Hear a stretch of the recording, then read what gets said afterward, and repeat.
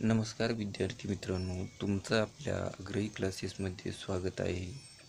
आज आपण इयत्ता दहावीचा विज्ञान भाग एक मधील पहिले प्रकरण अभ्यासणार आहोत. प्रकरणाचं नाव आहे आवर्त सारणी. तसेच आपण ही मागील वर्षी इयत्ता नववीत मूलद्रव्यांची ओळख करून घेतलेली आहे.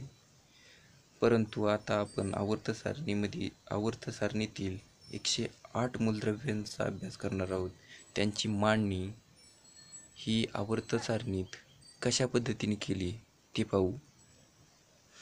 तसेच या मागील वर्षी इयत्ता नववीत मूलद्रव्यांची ओळख करत असताना प्रथम सत्रात प्रकरण क्रमांक चार आणि प्रकरण क्रमांक पाच द्रव्याचे मोजमाप आणि अंमला अंमलारी यांमध्ये या प्रकरणांमध्ये आपण मूलद्रव्यांची ओळख तसेच इलेक्ट्रॉन संरोपण यांचा अभ्यास केलेला आहे. आता पाहूया. इयत्ता नववीमध्ये आपण अभ्यासलेले मूलद्रव्य. Hydrogen. Hydrogen helium. Hydrogen helium helium lithium barium boron carbon nitrogen oxygen fluorine neon sodium magnesium aluminium silicon phosphorus sulphur chlorine argon potassium calcium scandium titanium vanadium chromium magnesium ferrous cobalt nickel copper आणि zinc. या मूलद्रव्यांचा आपण मागच्या वर्षी म्हणजे इयत्ता नववीत अभ्यास केलेला आहे किंवा यांच्या मूलद्रव्यांची ओळख करून घेतलेली आहे. त्यानंतर इयत्ता दहावी आवर्तसारणीत आपण आधुनिक आवर्तसारणीचा अभ्यास करणार आहोत आधुनिक आवर्तसारणीत या उभ्या ओळींना या उभ्या ओळींना गण असे संबोधले जाते. तसेच या आडव्या ओळींना या आडव्या ओळींना आवर्तने असे संबोधले जाते. यामध्ये पहा. एक दोन तीन चार पाच सहा सात. एक ते एक ते सात. एक ते सात गण आहे. व एक ते अठरा. आवर्तने आवर आवर्तने आहेत.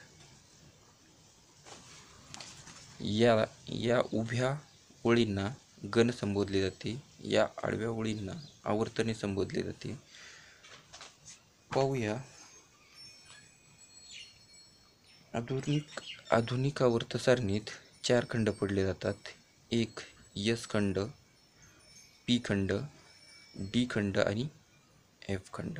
यामध्ये पहा रंगछटा. यस खंडात ही रंगछटा आहे. पी खंडात ही रंगछटा आहे. डी खंडात ही रंगछटा आहे. आणि एफ खंडात म्हणजेच लॅक्थिनाईड ॲक्टिनाईडमध्ये ही रंगछटा आहे.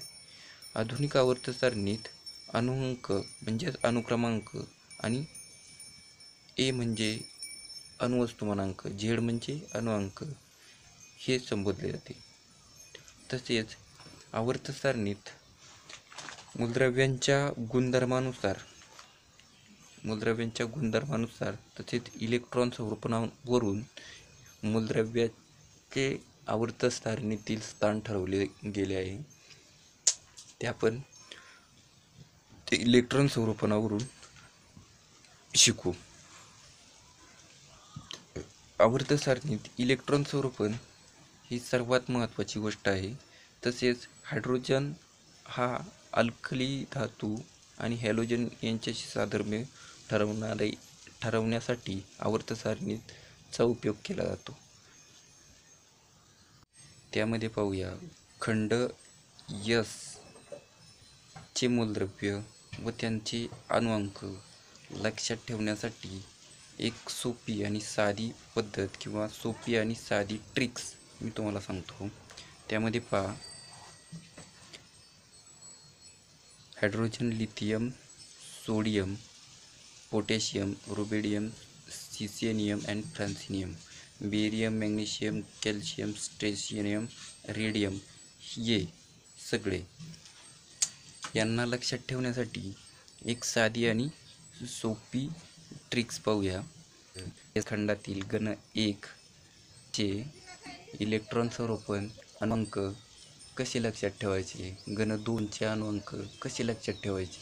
त्यासाठी एक साधी आणि सोपी ट्रिक्स मी तुम्हाला सांगितली. आता